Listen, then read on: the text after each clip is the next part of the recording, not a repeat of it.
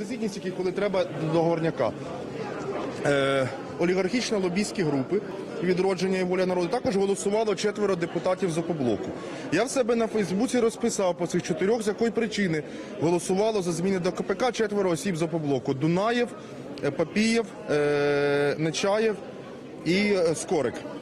Ці особи по них доведені і є папочки генпрокурора під сукном. Про це знають всі. Е, Доведені їхній е, склад злочину в їхніх діях. 22, ве- тепер зверніть увагу, будь ласка, 22 вересня 2016 року Юрій Луценко, генеральний прокурор, робить заяву про те, що Скорик, тодішній голова Одеської обласної ради, причетний до силових акцій побиття журналістів і активістів Євромайдану в Одесі 19 лютого 2014 року. Е, заявляє про те, що буде подання на арешт. Пройшло півроку, вже фактично подання на арешт регіонала Скорика немає. Водночас сьогодні вони ніби забули, а сьогодні Скорик голосує за ці Луценкові зміни.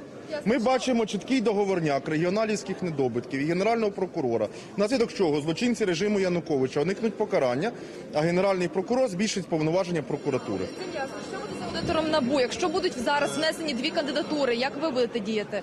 Дивіться, це е, обидві кандидатури є іноземцями. Чітка позиція радикальної партії. Іноземці у владі це приниження українців. 40 мільйонів можна було б знайти професійну людину. Тим паче, ми бачимо, що жоден з тих, хто був делегований виконавчу чи силову вертикаль з іноземців, не проявив ефективності. Ні Саакашвілі, ні Деканоїдзе, ні Квіташвілі, ні Боровик, ні як на анчоус похожа фамілія. Е, Абрамавічус. Ніхто з них не проявив ефективності. І натомість ми бачимо, аби якийсь толк був. А ми бачимо просто на рівному місці приниження українців. Тому наша фракція не буде підтримувати ні Сторча, ні Брауна. Хай українець буде аудитором НАБУ.